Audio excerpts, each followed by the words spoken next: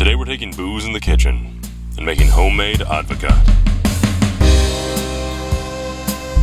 For this recipe, you're going to need a measuring cup, a whisk, a wooden spoon, a small knife, a cutting board, a measuring spoon, a strainer, a pot, a mixing bowl, a Tupperware container, and a bottle with an airtight lid. The ingredients are eggs, sugar, salt, brandy, and a vanilla bean. Or if you're more comfortable, you can use vanilla extract instead. This recipe is adapted from the 12 Bottle Bar by Leslie and David Solmonson.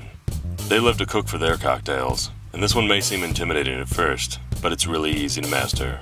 You can find commercially made advocaat without too much trouble, but this one's going to completely blow all of those away. Advocaat's a Dutch variation on a proud tradition of egg-based alcoholic holiday drinks that range from eggnog to Eierpunsch to rompope. Advocaat's somewhere between a thicker, boozier eggnog and a thinner, boozier homemade pudding. The varied flavors of the ingredients play together surprisingly well. It's a little indulgence that complements all of our winter feasting, a festive drink that's a welcome departure from the usual staples. We're shooting to make about 3 cups, or 700 milliliters of advocaat. Let's start with the eggs. Take 10 eggs and separate the yolk from the whites. Crack the egg, split it open, and roll the yolk back and forth, letting the egg white run out into the Tupperware. Then plop the yolk into the mixing bowl. Repeat this for the other nine eggs. I like setting up my mixing bowl right next to my Tupperware.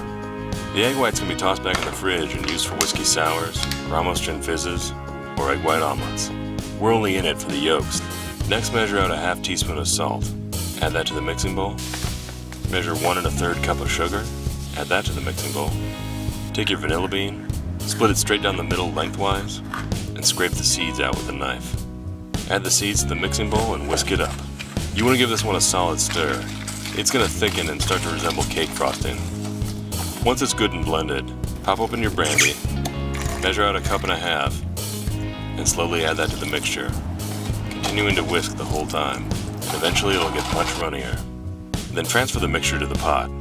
Toss in your vanilla bean pods, Turn it on low heat and stir continuously for several minutes until it coats the back of the spoon. This part requires just a little bit of patience. Fill a mixing bowl with ice water and dunk the pot into the mixing bowl. Continue to stir. Once the surface of the pot is cool to the touch, strain the advocaat into a measuring cup, then pour it into your sealable bottle. Pop on the lid and stick it in the fridge to cool. Once it's cold, it's ready to serve.